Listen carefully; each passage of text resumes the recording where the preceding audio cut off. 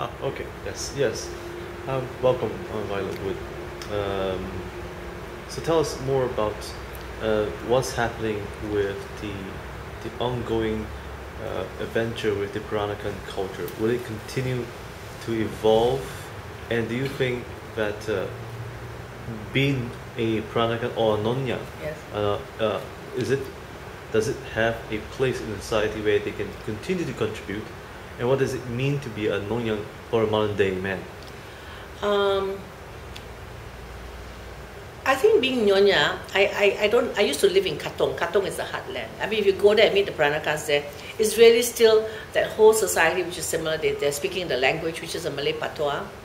Uh, the traditions are still very much alive um, on, on a very family level. How relevant is it? Well, the first generation of leaders in Singapore and even the Chinese leaders in Malaysia were all Peranakans, were all you know, the, part of the culture because they were the people who made home in this part of the world. And will it be? I, I think it's, it's a culture that's very um, beautiful and exotic. Uh, we have a Peranakan museum in Singapore, and, and it's a culture that is it has enough of a body of uh, art and I mean not it's not really art but a body of furniture, crockery, uh, and you know uh, lifestyle that can have a whole museum to itself. I, I was in Paris in uh, 2010 where the museum Quai Branly had a Peranakan exhibition for a few months and I went for the opening and they did a beautiful um, setup but it's, it's got the, the, the artifacts that we have are very flamboyant and very beautiful. And, and the Parisian can feel um, sort of uh, an, an attachment to it because it's very much like Jean Paul Gaultier. Uh, you know, that, that, that, that, that clash of colors, that, that very exotic pattern. Uh, it's like Versace.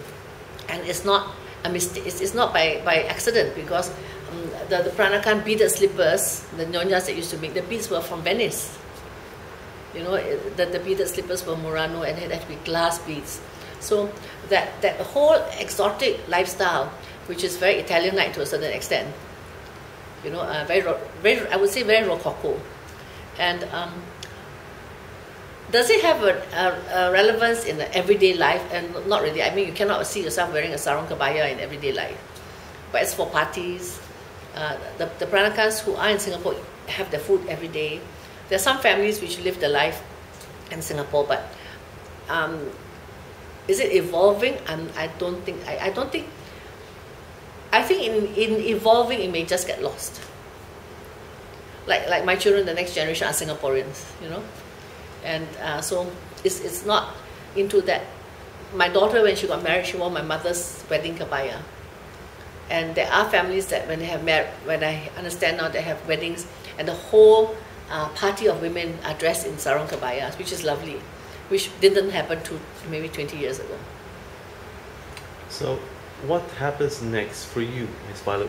You know, uh, everybody now is expecting something new, Yeah. like a cookbook. You know, Yeah. uh, every is is the most probably the most anticipated uh, uh, event, I think. Yeah. Uh, and maybe your, your new ventures uh, in the coming months ahead. Um, I think with my food, it's possible to mix and match it and modernize. I mean, actually, I, I, I go to America a lot. And I love what's happening with food there because, in a way, it's a similar experience of being immigrants, of uh, mixing with so many other cultures. And I think an American chef who is very dynamic and creative is not as tied to his culture and not as imprisoned to the culture as a French chef or an Italian chef or even a German chef. And, and that, and, and that, um, that freedom allows him to, you know, like, I mean, people like Thomas Keller and all that, you know, allows them to have the most brilliant techniques, you know, which is European, and yet having the, the mind able to leap across the Pacific Ocean, to leap across the Atlantic Ocean, you know, uh, to incorporate uh, Native American ingredients, Mexican, into their cuisine. And this is what I think I do, you know, because I travel. I mean, I've been, uh, I've been in seven schools. My, my father was transferred to London, Kuala Lumpur. We had experiences in Sabah, you know, like from, from the very native experience to the uh, like jungle ferns to something more more modern. And um, that is, I think, the, the life and the future of where cuisines are going. I mean, you have the very pure cuisines which have a place for sure. Like a very pure Italian, very pure Peranakan, very pure French, I think should still be there in, in you know the culture because that is what uh, holds you to what you really are in your past. But I think for a lot of us now, we're just uh, putting together taste and textures and techniques and flavors that we, we encounter in our journey throughout life, you know what I'm saying? And I, I think um, that's what I put together in the meal, you know. When, when, when I, I mean, I, I think we had salmon, which may be modern American, and I would do it with a salad, which is, um, or, or a pickle, which is Filipino, and something else. And, and I think um, the palette now is very, um, the, the palate of the modern gourmet wants this excitement of, of a sudden new new juxtaposition which you never had before. And I think um, that's what I, I love to do with my food, you know, with my Peranakan food. I'll take a salad and I could blend it with something else. I've, I've served it fine dining style, you know, and, and you could you could do anything to it actually. So, in your new next cookbook, will we, we expect something uh, right across the Pacific, fusion probably, uh, along with the uh, some form of the Peranakan essence in it? Yeah, my next cookbook has been uh, maybe 10 years in the making. I haven't been as prolific as I should have been. I mean, I have a lot of recipes. I have like, uh, somebody's chronicling my recipes. It's up to like maybe 2,000, all tested, you know, and still haven't finished. Uh, my next cookbook is going to going to be um, everything in my life, you know. So from from very genuine Peranakan to leaps across the Pacific to being in Ita Italy, uh, you know, learning something from a Persian friend. And I say I, I cook a very good Persian meal, but I do not cook a Persian cuisine. That means whatever I cook is wonderful, but I'm not a Persian cook. And I think a lot of people cook that way now. And I, I would I would try to chronicle uh, what not only Peranakan but what it was like growing up in Katong, you know. I, I remember like we, we were in somewhere called Kuo Chuan Avenue, which still exists, thank goodness. At the end of it was the sea, which is now reclaimed land. And the fishermen would come with their catch, uh, you know, a basket of prawns, and we would wait outside the stoop. And um, my mother would say, okay, let's, you know, get these prawns, and she would cook it just on a bed of onions with some chilies and then and steam on the bed of onions. And I can still remember that flavor. I, I, can still remember not only that flavor, the experience. People say mm. that you're probably be the next uh, Julius Julius Child uh, of the Far East mm. or even Asia. You know. uh, how do you see that yourself? Do you think it's a compliment? I think it's a compliment, of course. Uh, but I, I, I don't go out to do anything that I'm doing for acclaim or, you know, any of that. It's like, I really love what I'm doing. I, I, I really love to put together, I just put together a cooking competition on family favorites. And I, I love to keep on discovering, you know, that you can only know so much. And every day, if, if you're willing to learn from somebody else, you know, just even that technique and, and sharing. And, and actually, I'm a sociologist. So I actually approach food more from that point of view where what are you learning about people from what they are eating? So, right now, here in Singapore, um, do you have any plans uh, for for your fans who is to come in the next 12 months? You know, do you feel that uh, that Singapore is ready for uh, a better class of cuisine? Uh, I think Singapore has a, a wonderful class of cuisine now, you know. So, I mean, it's, it's like taken a quantum leap in the last 10 years. And I must give credit for organizations like Singapore Tourism Board, who actually have gone out to woo the top chefs to open branches here. We have Wolfgang Puck's cut, which I love. And they've managed to translate that whole Californian, Los Angeles, Hollywood sophistication, Beverly Hills, to their restaurant in Marina Bay Sands. And what has been happening with the uh, what they call IRs, you know, and, and the restaurants that have been coming in, I think it's amazing. It's very vibrant, and you get a lot of chefs coming here from Italy, from around the world, because this is still a very vibrant economy. you know, where, where somehow um, people love to eat out all the time, and and there's there's business in it, you know. So so we, we have been attracting a really good quality of chefs and people who cook to come to Singapore. Before we go, someone says, you know, uh, and wonder, what kind of ingredients do you fancy most? You know, I mean, before, before you, if if you had a second life, what are the ingredients that you would take along with to infuse? Actually, uh, it's very funny what your sentimental food is. When I'm out in Singapore and I'm eating, not I'm just eating, you know, it's, it's nothing but just eating, and it's a hawker center or a food court. I would invariably choose Malay food, the the the nasi the nasi Melayu, and I think this has to do with it's, it's like it has to do with my childhood where my father would bring me out every Sunday uh, breakfast for a meal of nasi Melayu, and I think I think sentiment has so much um, pull in a person's life. I mean, you know, if, if I if I cannot think of anything, I'll eat Malay food, which is quite strange, you know, if you think of it. And I'll be eating like the sayur lodeh and the rice. It may not be delicious, but it may be my choice. I mean, I, I and then I will try other food, of course. Last but not least, just to resolve the mystery that everyone has in mind, they were just wondering, as you are Violet Oon of today, what uh, what was the consideration and make and what was the, the beginnings of of your adventure becoming a a uh, food ambassador that you are today? You know, I mean, it was said that you were once a journalist yourself. Yeah. You know, m- uh, many years ago. Yeah. You know, what caused you to to to have a sudden uh, turn you know, of, uh, of I'm of still a journalist, you know. I, mean, I, I think that was my own first and only career. I mean, I worked in uh, the Straits Times Group. I mean, I loved it. And um, my first job was music critic. And then, and I have loved to cook. You know, I mean, being, being a Nyonya, uh, we are a very gregarious society. So when I learned to cook, I, I learned to cook because my aunt, my mother did not cook. She was liberated. She was a highly high-powered secretary in the 1940s, and so she never cooked. And so when I wanted to eat my nyonya food, I had to eat my aunt's cooking, my, my father's sisters.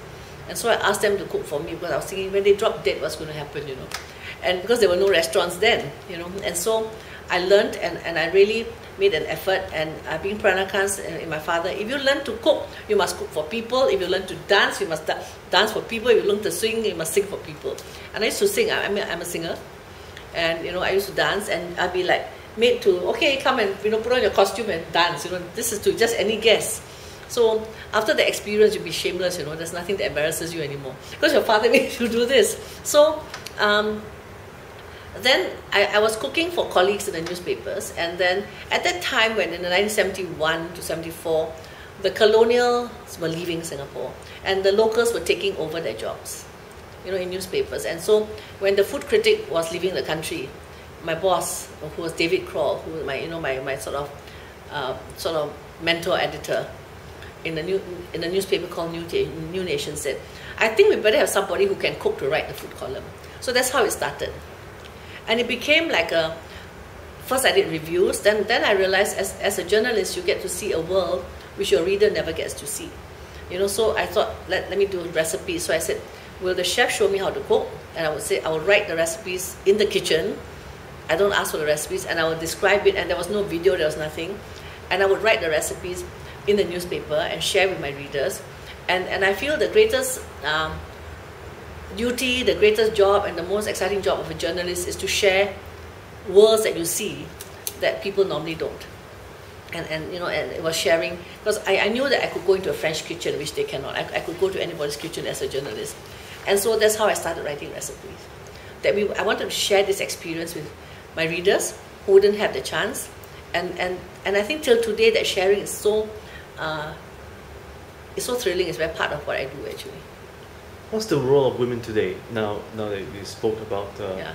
uh, your role uh, during that period, and it still is today. You Mm. know, most people are asking. You know, uh, the role of women seem to be diminishing uh, Mm. day by day, and yet many of the men factor, Mm. you know, don't seem to take acknowledgement of of what the women do for the society. Mm. Um, how important is this for you, and what do you see the role of women today uh, from from the Southeast Asian perspective and being a Nyonya yourself? Actually, I'm the wrong person to ask, but I did, when I was working for a magazine called New Nation, we actually went to the ASEAN countries and, and posed this question, what was the role of women? And that was fun. I, I got to interview women activists and, you know, people who are so active, but I, I am, I, I'm, I must say I'm not like that. I'm, I'm not into that. And, and I think women, the role of women today in the traditional role as, you know, a mother, caregiver, mm, I think it's becoming more than my time. My time, I, my time was women's lib, and you know, and the reason I maybe I think the reason I stand out was that nobody in my generation wanted to learn to cook, because it was seen as bondage, uh, to to to bondage to the home, bondage to a duty which they did not like. Um, but I'm an only child, so my father brought me up not as a girl that had to serve the men, but I was brought up like a boy, and I'm like, I, I should just do things for my own satisfaction and joy. And, and I think I learned to cook the way a man learns to cook. A man learns to cook for fun. A woman learns to cook as a duty. You know, and, and so that's why get men are really flamboyant cooks because it's really for fun and, and for you know showing off and entertaining people. Uh, and I'm not sure about Southeast Asia. I think I think women in Singapore are definitely very. Um, they may not be so equal in the boardroom, but day to day life, they I think they're much more uh, liberated in a sense than even women in America. They're not expected to be uh, super homemakers. But that being said, my daughter's generation has gone back to being super mothers. They, they are so fantastic compared to my generation. When, when they decide to have children, it's a real um, commitment, and, and it's a real commitment with husband and wife. And you know the the, the, the, the what, what they do for their children, what they plan is I think amazing, and and they really uh, want to be good mothers, which my generation wasn't so dedicated in that actually. Violet, thank you so much for joining us here at the National Critics Choice. And we hope that we look forward to your latest new adventure, especially your new cookbook, perhaps, Yeah. and, and so on.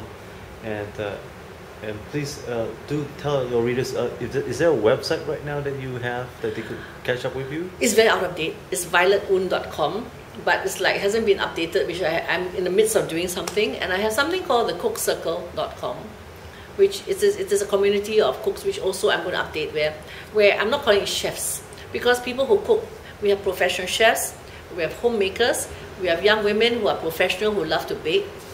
And I think it's, it's just a ga- gathering of a circle of friends who love to cook and love to eat as well. If there's one advice you could give to the next generation, what, would- what would that be? In food, Yeah. Yeah, I think uh, I, I wrote a book called A Singapore Family Cookbook. And I think every family has a cookbook. And I think everybody should chronicle what their grandmother cooks before they. You always hear that they don't bother because the granny is always cooking. And you know, they, have, they, they love foods from their childhood. And when, when at a certain point the granny becomes too old or senile, it's too late. You know? And I, I think, especially for an immigrant society, like us in Singapore and America, you, you never realize that your family experience is actually unique to you. It's not, it's not homogeneous like Japan, for example. And if, if you actually write a book of what your family eats and who likes what and aunt, you can actually, it actually traces your family history. And, and I really do think that families should because uh, you, you may come from, your, your ancestors may have come from a certain village and what you're eating may be very normal to you, but actually it's not normal. It's, it's, it's a very specific to a certain town or a village. That's why I think people should do. Write their own cookbooks. Well, thank you, Ms. Violet Oon. And thank you, uh, my viewers. And please do check out her website and have a great day.